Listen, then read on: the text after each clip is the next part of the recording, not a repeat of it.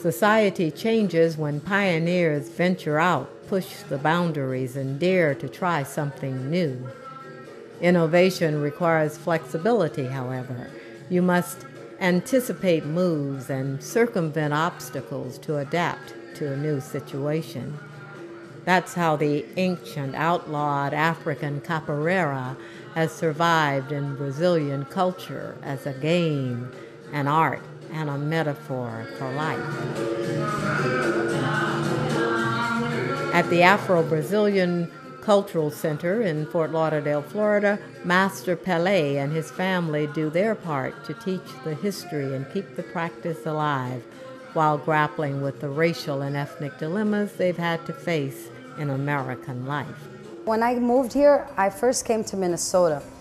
And I, that's when I first realized that we separated because in Minnesota there were blacks, there were whites, and there were Cambodians.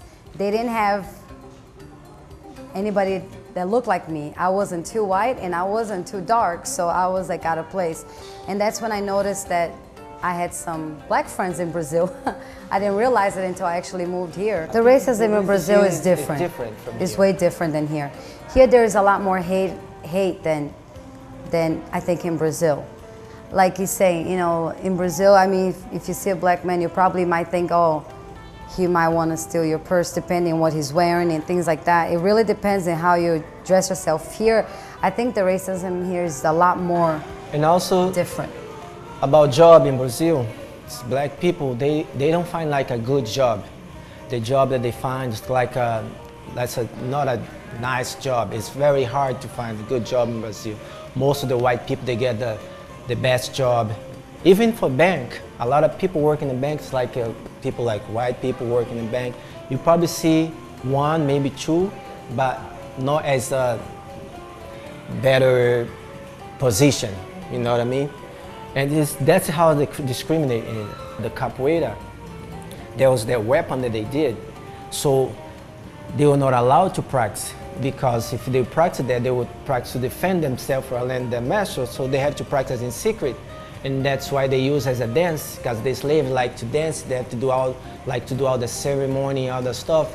So that's why they have to use that as a dance, just like a ceremony for just to disguise the capoeira. That's why the music and the acrobatics part, they play a big role because they weren't allowed to do anything that has to do with defending themselves. So that's why when their masters would come to, you know, to say, what are they doing? What are they doing?